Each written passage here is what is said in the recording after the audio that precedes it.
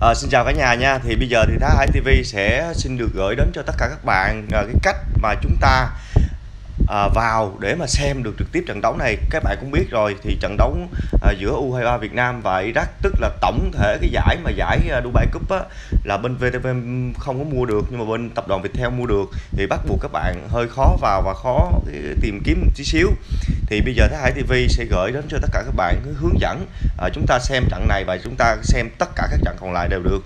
Đó thì bây giờ nếu như mà các bạn sử dụng trên điện thoại thì các bạn vào App Store à, trên điện thoại à, iPhone á iOS á hệ điều hành iOS thì các bạn vào à, App Store.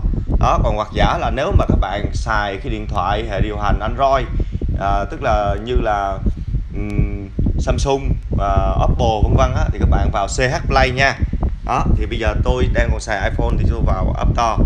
Rồi sau đó uh, sau đó là các bạn vào uh, tìm kiếm là TV 360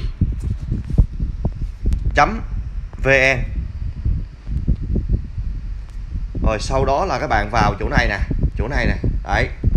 Đấy cái cái chỗ thứ hai nè 360 TV 360 truyền hình là chấm chấm chấm đó.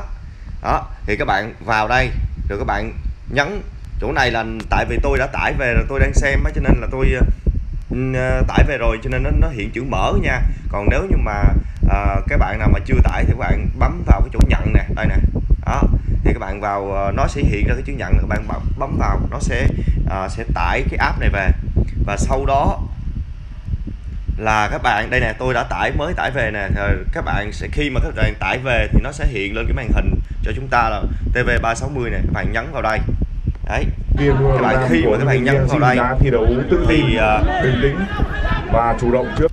thì các bạn uh, thấy nè là chỗ là U23 Dubai 1 nè rồi U23 Dubai 2 cái hai cái kênh này nè.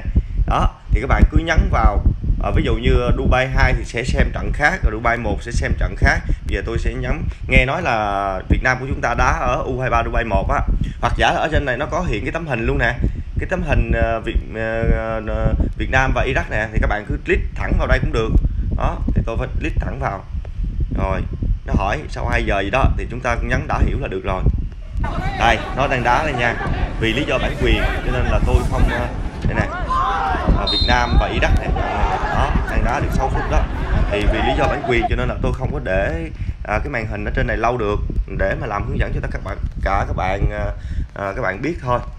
Đó thì video đến đây là kết thúc. Thì tất cả các cái trận đấu trong giải Dubai Cup các cái trận đấu như à, Nhật Bản gặp Croatia đang đá luôn đó thì nó cũng có trên à, tất cả các à, cái à, hệ thống của à, TV 360 nha các bạn. À, chúc các bạn thành công. À, xin chào và hẹn gặp lại các bạn. Thấy kênh hay thì hãy like comment share subscribe để kênh được phát triển tạo động lực làm những video tiếp theo. Xin chào và hẹn gặp lại.